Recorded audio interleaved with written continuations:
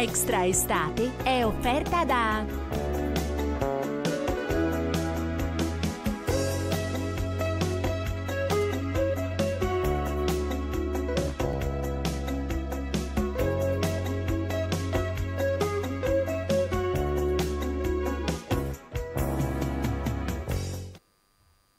Amici di Teleromagna, buongiorno, buon weekend, ben ritrovati, extra estate, la nostra guida agli eventi e non solo in Romagna, in regione, ma in grandi approfondimenti con gli amici del Corriere, come sempre in edicola, il terzultimo weekend, saremo insieme anche la prossima settimana e quella successiva al Capodanno estivo, al Ferragosto, insomma davvero ancora tante curiosità da leggere insieme, da sfogliare, questa è la copertina del numero di questo fine eh, settimana. È eh, il primo weekend pieno del mese di agosto, ma è anche l'ultimo weekend di Tokyo 2020, i giochi olimpici.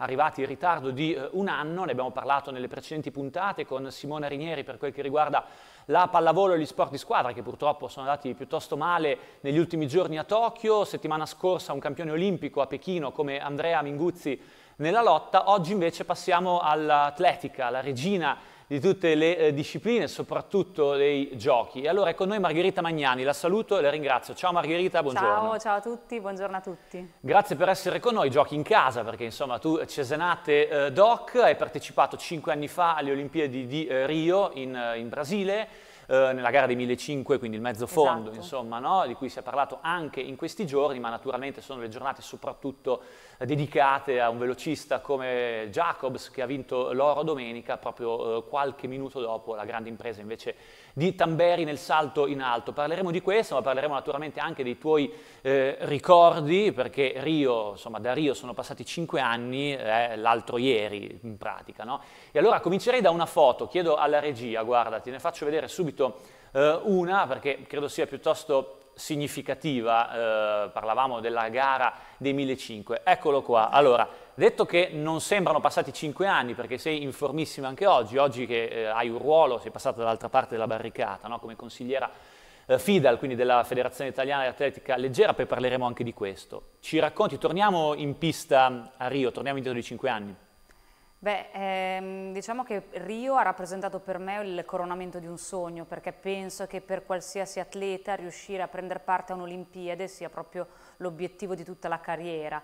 Eh, è chiaro che poi vi sono atleti che hanno ambizioni maggiori, come Tortu, Marcel Jacobs, che sono riusciti a vincere l'oro, quindi il, il, a raggiungere il gradino più importante di, tutta, di quella che penso sarà tutta la loro carriera agonistica, anche se mi auguro, eh, avendo un'età relativamente giovane nel, nell'atletica leggera, di poterli rivedere sicuramente anche tra tre anni a Parigi. Eh, il mio obiettivo era quello appunto di partecipare alle Olimpiadi, non avevo ambizioni ovviamente di medaglia, ma essere riuscita a centrare la qualificazione in una specialità comunque come i 1500 metri, dominio delle atlete africane, certo. è, stato, è stato un grossissimo successo. Questa è la parte sportiva, eh, tu ti sei fermata bat alla batteria, insomma, no? quindi quella è l'esperienza. Ecco, eh, una chiosa su questo, cioè sul risultato sportivo è chiaro, parlavi di mezzo fondo, è, è ovvio regno no? Del, delle africane soprattutto, assolutamente. Però da questo punto di vista cosa ricordi della gara? Poi naturalmente voglio sapere qualche curiosità sul villaggio e non solo. Beh, bellissimo perché comunque quando corri in uno stadio strapieno di persone, cioè l'adrenalina è proprio a mille, già dal, da due giorni prima non riuscivo quasi a dormire per, eh, per l'emozione, è stato cioè, un momento unico e che ricorderò sicuramente per tutta, eh, per tutta la, la, mia vita, Fan, fantastico. Ecco, non esisteva mh, il Covid, non c'era l'emergenza sanitaria, non c'era una pandemia in corso come oggi, è chiaro che vedere eh, uno stadio come quello di Rio eh, pieno rispetto a oggi faceva tutta la differenza del mondo. Dal punto di vista ambientale, che Olimpiadi sono state? Beh, il, eh, il, Brasile poi è una terra, diciamo, euforica, quindi sono state de, delle Olimpiadi eh, all'insegna appunto del, anche del, diver, del, divertimento, ricordo eh, la musica nello stadio, ricordo questi cori all'interno del villaggio, quindi tutta, ricordo Copacabana per le gare di beach volley, tutta un'altra atmosfera rispetto a quella che stanno respirando i nostri atleti a Tokyo, eh, in cui comunque non, non, non, vi è la possibilità di uscire dal villaggio, eh, gli stadi sono vuoti, quindi c'è sicuramente un'Olimpiade un totalmente, totalmente diversa, ma eh, eh, credo che eh, dobbiamo comunque ritenerci fortunati di aver visto, di aver avuto comunque la possibilità di assistere a, a questi, questi, giochi olimpici in questo, in questo, format. Anche perché c'era il rischio qualche giorno prima dell'inizio no, che si potesse addirittura far saltare ancora l'appuntamento dopo averlo posticipato eh, di un anno, parliamo sempre di Tokyo 2020, ma insomma siamo avanti appunto di 12 mesi. Ecco, ehm, il ricordo più bello, eh, al di là della gara, perché poi tu eri eh, a Rio non certo per fare una vacanza o per eh, così divertirti in una terra che dicevi bene, no? il Brasile storicamente non proprio una terra gandiana se vogliamo, ma piuttosto eh, colorata. Ecco, eh, il ricordo dell'apertura, la cerimonia, appunto i colori, il villaggio soprattutto, hai qualche aneddoto? Beh, purtroppo la nazionale di atletica non partecipa quasi mai alle cerimonie di apertura perché l'atletica è sempre collocata nella seconda parte del calendario eh, e quindi mh, solitamente alla cerimonia di chiusura. E infatti noi siamo arrivati, io avevo la gara nel, nel primo giorno delle Olimpiadi dedicato all'atletica leggera, siamo arrivati nel villaggio tre giorni prima, eh, nel periodo precedente ci trovavamo con la nazionale a San Paolo a, fare, a svolgere un, un cosiddetto training camp proprio in preparazione di queste Olimpiadi e credo che l'emozione più grande sia stata quella del, nel momento in cui ho messo piede eh, all'interno del villaggio olimpico. Eh, è stata un'emozione fantastica perché il villaggio è, in, è indescrivibile, eh, trovi un sacco di atleti provenienti da ogni stato del mondo che prendono parte ad ogni disciplina sportiva, è stato eh, veramente inenarrabile da quanto dalle, cioè, dalle, sensazioni forti che ho provato in quell'occasione. Ecco, scherzando con Andrea Minguzzi settimana scorsa dicevamo il villaggio olimpico è innanzitutto un ripasso gratuito di geografia ai tempi della scuola, perché naturalmente si scoprono bandiere che neanche nei tappini dei succhi di frutta no, si trovavano. E poi immagino il, eh, così, vedere da vicino campioni che invece si sognavano solo. Eh, Simona Rinieri parlava di Carl Lewis, tanto per fare un nome, visto che lo sport è lo stesso. Tu, Noi avevamo Usain Bolt in quel periodo. Erano gli anni di Bolt, sì. effettivamente. Sì. Abbiamo trovato un valido sostituto, direi, a questi giochi olimpici, quindi... Altri atleti di riferimento, non so, qualche eh. mito da, visto in carne ed ossa? Eh, ricordo in quel periodo mh, mm, Federer al villaggio olimpico, e, ehm, diciamo i miei riferimenti in quel periodo sono stati appunto Usain Bolt e Federer, nel, perché poi il nuoto era già giunto al termine, quindi mm. non, non, non c'è stata data la possibilità proprio nemmeno di, di, incontrarci. Ricordo Federica Pellegrini che lasciava il villaggio proprio quando noi invece entravamo. E beh, insomma, hai detto dei, dei monumenti, tra l'altro Federer che compie gli anni proprio in quei, in quei giorni, no, in agosto, quindi era un po' eh, quello che poi manca, no? la, la, medaglia nel, nel, singolare, lui che ha vinto praticamente tutto. Ci fermiamo qualche istante, poi eh, parliamo naturalmente e soprattutto eh, di atletica, sono curioso anche eh, parlare della preparazione, perché si viaggia, no? credo, a provare a curare anche i minimi dettagli verso un appuntamento come questo. A tra poco.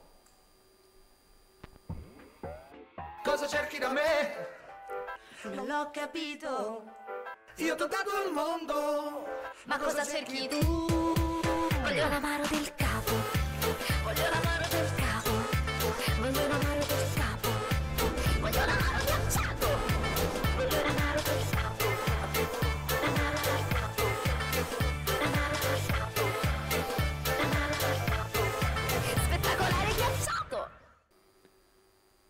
E allora, i giochi olimpici di Tokyo alla conclusione sono proprio le ultimissime giornate eh, di gara, nel weekend precedente, eh, quindi un po' come una settimana fa, ci siamo tolti la grandissima soddisfazione di vincere il doppio oro, ma di questo ne parliamo tra poco. Eh, torno a Rio, torno alla preparazione di una gara olimpica, di un appuntamento olimpico. Per chi fa atletica leggera, poi è chiaro ci sono mille discipline, eh, com'è la, la, la preparazione? Cioè quanto tempo prima si comincia a mettere il mirino sulla gara? Eh, beh, mm, considerando che da qualche stagione a questa parte la qualifica olimpica è eh, incentrata diciamo, negli ultimi due anni, eh, solitamente mh, quasi tutti gli atleti iniziano a, a, pianificare il loro avvicinamento ai giochi olimpici con due anni di, an di, anticipo, quindi programmano raduni nel periodo invernale, raduni nel periodo estivo. Per esempio nel mio caso, essendo um, una mezzofondista, quindi praticando una specialità di endurance, era molto importante pianificare dei raduni in quota durante, durante la stagione, quindi in altura per consentire ehm, la creazione diciamo, di, un gruppo, di un gruppo di lavoro che poi ti porterà a raggiungere la massima condizione proprio durante, durante il periodo olimpico. Eh, poi ovviamente per ogni specialità è diversa, nel caso dei velocisti è molto importante lo svolgimento invece di raduni collegiali, al fine anche di provare i cambi per le staffette, per la 4% in particolare e anche in parte per la 4x4. Un rimpianto ce l'hai se ripensi non dico la tua carriera, eh, poi abbiamo anche diverse foto, perché comunque non ti sei fermata no, in precedenza, non c'è stato solo Rio, non ci sono stati solo i giochi, che sono chiaramente la punta dell'iceberg, però ripensandoci. Ma ripensamenti mh, probabilmente non mi sarei operata al tendine d'Achille perché dopo l'operazione al tendine effettuata nel 2019 eh, ho avuto molti, molti problemi fisici, comunque la meccanica di corsa eh, si, è, si, è, modificata e, e da lì ho fatto, ho fatto, fatica a ripartire e proprio per questo ho anche preso la decisione poco dopo di eh, lasciare l'attività sportiva ehm, perché dal mio punto di vista quando hai comunque svolto una carriera nel, nel mio piccolo contraddistinta da cinque campionati del mondo, un'Olimpiadi... Abbiamo visto alcune eh, foto. Eh. eccetera, non, non, aveva troppo diversi, otto titoli italiani assoluti, non aveva diverso senso continuare ma non, non, a un livello diciamo per me consono, quindi sì, l'unico rimpianto è che probabilmente non mi sarei sottoposto a questo intervento. Ecco, una carriera che se tu dovessi riassumere eh, quella di, di, atleta naturalmente, perché dicevamo oggi consigliera federale, insomma, tra l'altro tra pochissimo partirai giusto per uh, i mondiali under sì, 20. i mondiali juniores a Nairobi dal, che sono in programma dal 16 agosto fino al 22 agosto e io sarò capo, capo delegazione in questa occasione. Perfetto, poi ci, ci racconti. No, dicevo, della, della, tua carriera, ecco, anche i momenti più belli quali, quali sono stati, oltre Beh, immagino Rio, sì, il momento, il momento, più bello è quando ho realizzato il minimo per qualificarmi per le Olimpiadi di Rio. Eh, e altri, altri, momenti belli, eh, ricordo ovviamente tutte le varie edizioni dei campionati del mondo, in particolare poi i campionati del mondo indoor di Sopot nel 2014 in Polonia, in cui arrivai ottava e quindi sui 3000 metri fu, un, um, fu il mio massimo... Guarda un po'. Esatto, eh? esatto. Regia perfetta. Perfetto. Regia perfetta. Eh. Colpo di fortuna clamoroso che abbiamo trovato, sì. l'immagine, corretta. Sì. Qui sono passati sette anni, eh.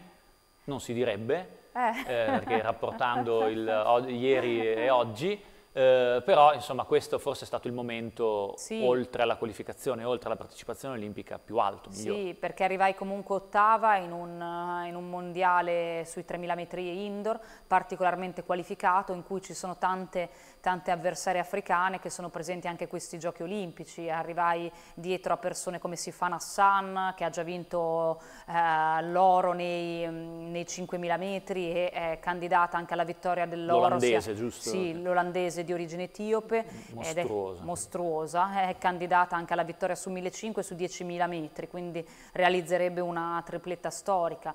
Era presente anche Eleno Biri che eh, quest'anno è arrivata comunque eh, terza nei, nei 5.000 metri, quindi arrivare ottava in quel contesto ha rappresentato probabilmente il mio apice, il mio apice in tutta la carriera.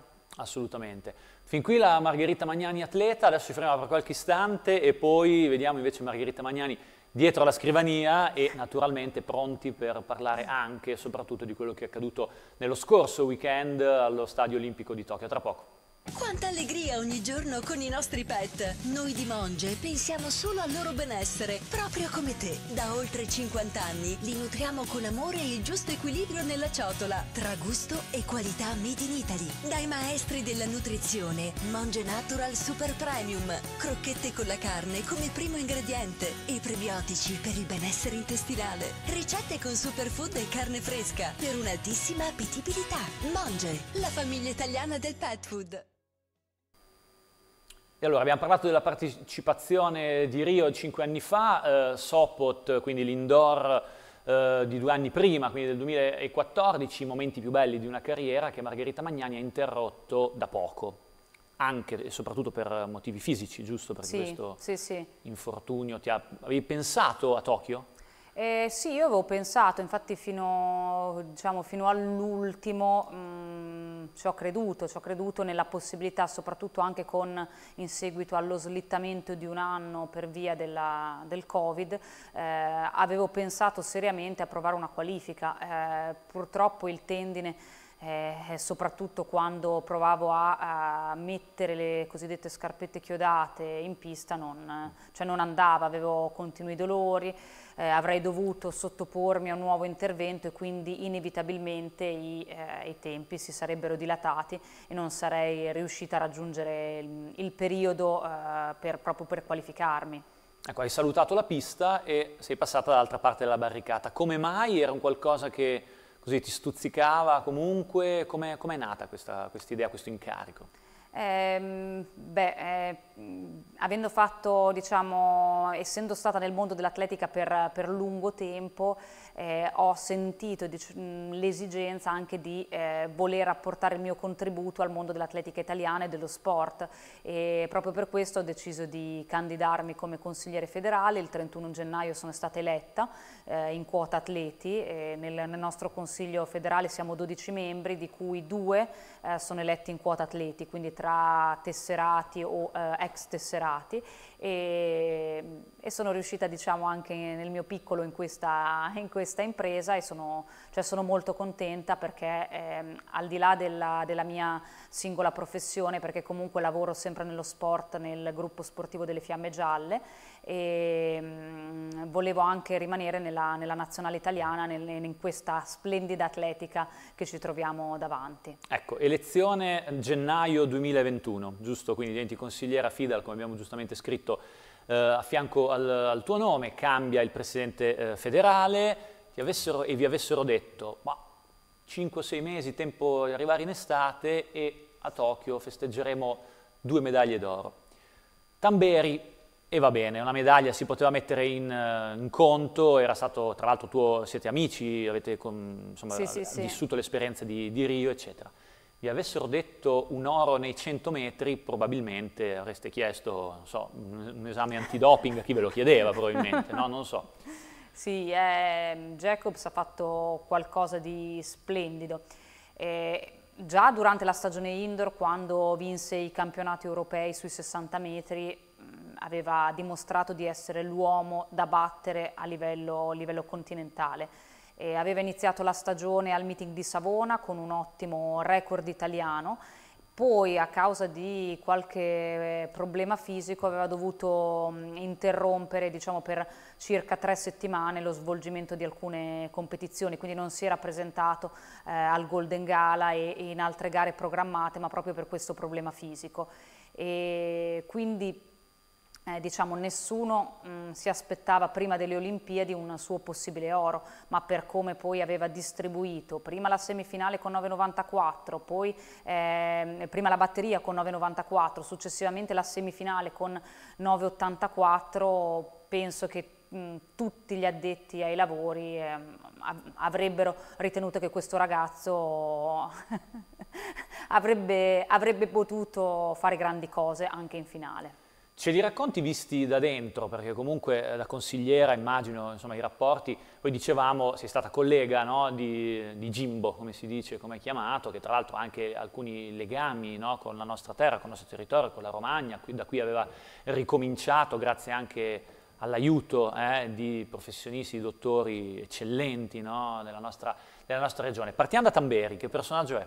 Beh, Tamberi, come descriverlo? È, un personaggio, nel senso che sa, ha quello spirito che riesce a trascinare, che gli consente di trascinare proprio tutta la squadra, tutta la nazionale, è, è, è euforico, è è un, è un, campione, un grandissimo campione, ma non, non al di là della, della, prestazione agonistica, proprio anche per la sua eh, capacità di eh, comunicare agli altri e di trasmettere l'importanza di certi, di certi, risultati. Quindi anche uomo squadra si direbbe nelle, nelle squadre, appunto, nei sì, club. Sì, sì. sì. Mm, Marcel, al contrario, è una persona più eh, riservata, un grandissimo campione, sia lui che eh, poi il suo allenatore Paolo Camossi, che è stato comunque eh, campione mondiale di salto triplo indoor, quindi ehm, un, un, grandissimo sportivo.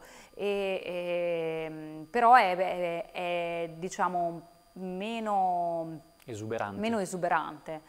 E mm, Tamberi in particolare ha, ha realizzato qualcosa di eh, grandissimo a queste Olimpiadi perché eh, eh, come, sappiamo, come, sappiamo, tutti nel, nel, 2016 non ha potuto prendere parte ai giochi olimpici di Rio a causa della, della rottura del tendine d'Achille proprio a ridosso della competizione, quando era l'uomo da battere, cioè l'uomo con 2,39, eh, quindi...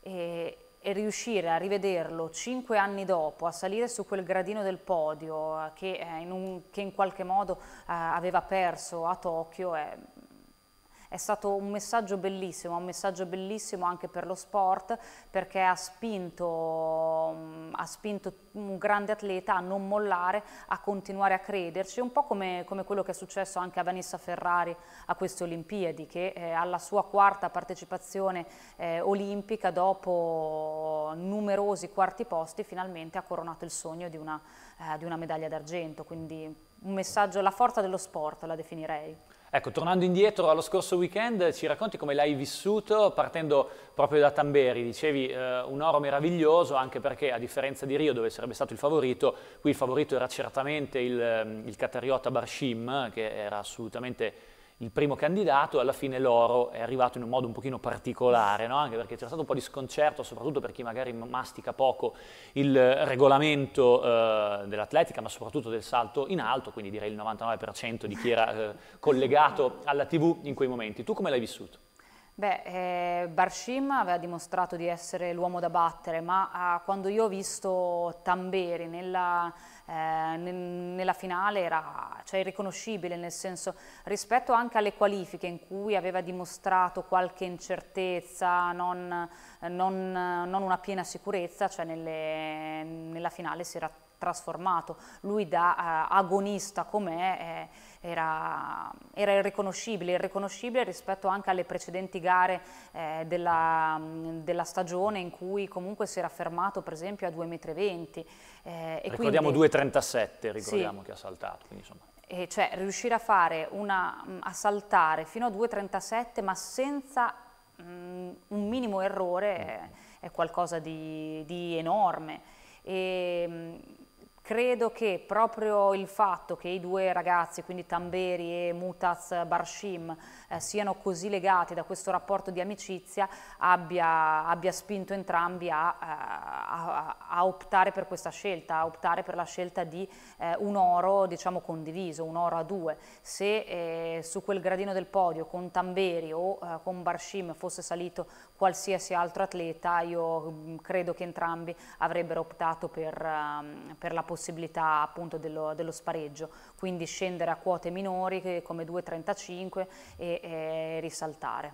Mm, mm, anche poi sono state immagini bellissime, al di là dell'abbraccio, poi anche la premiazione che abbiamo visto con uno che ha diciamo, eh, messo la medaglia al collo all'altro, insomma, quindi assolutamente bellissimo. Poi c'è anche la, la, dire, la coincidenza eh, della programmazione perché nel giro di 20 minuti di domenica, tra l'altro, quindi il giorno ideale diciamo, per celebrare tutto quanto, si è passati dal, dal salto alla, alla, pista. Lì eh, dicevamo dell'avvicinamento di Jacobs che è stato straordinario, un crescendo evidentemente guardando il cronometro.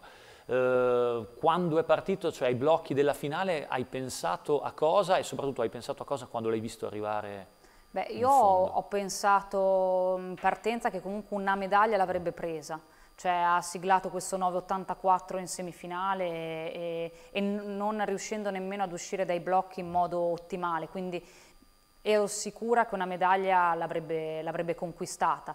Eh, da lì a prevedere l'oro è tutta un'altra cosa eh, anche perché avevo visto molto bene il cinese che in, ehm, che in Bassun, che in batteria aveva siglato questo 980, 981 e, e quindi me lo, me lo, aspettavo come un possibile avversario oltre, oltre comunque a De Grasse oltre agli americani e invece cioè, non ce n'è stata per nessuno. Vincere cioè, i 100 per distacco è sì, ancora più bello. La gara, la gara, mi permetto di dire, più importante secondo me di tutti i giochi olimpici. Eh, il simbolo delle Olimpiadi sono i 100 metri e in parte la maratona, quindi tutti, tutte le altre gare in, in un certo senso hanno meno eh, risalto mediatico, non che siano meno importanti ovviamente, però eh, come vincere i 100 metri, un italiano eh, non, ha, non, ha, mai raggiunto minimamente un traguardo del genere, anzi nessun italiano era riuscito ad accedere alla finale dei 100 metri, quindi già questo è significativo. E poi essere il eh, successore di Usain Bolt. Eh. Non è male tanta roba. Non è male.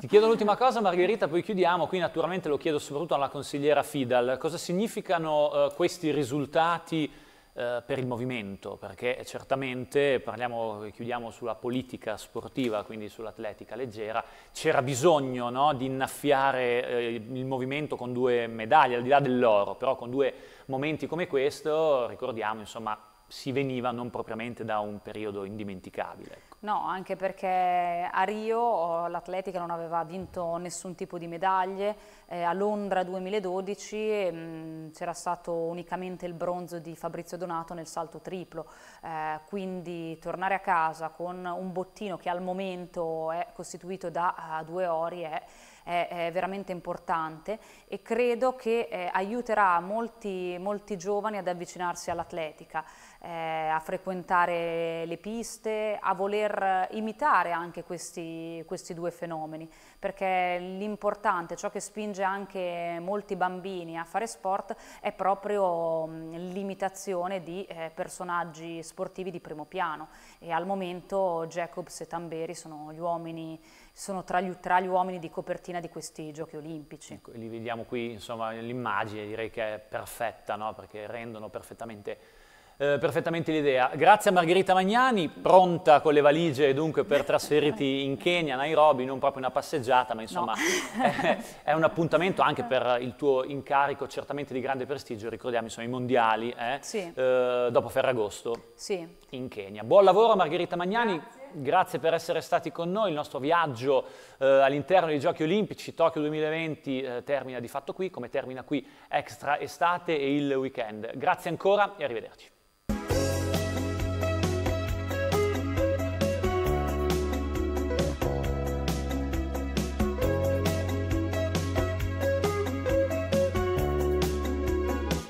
Extra Estate è stata offerta da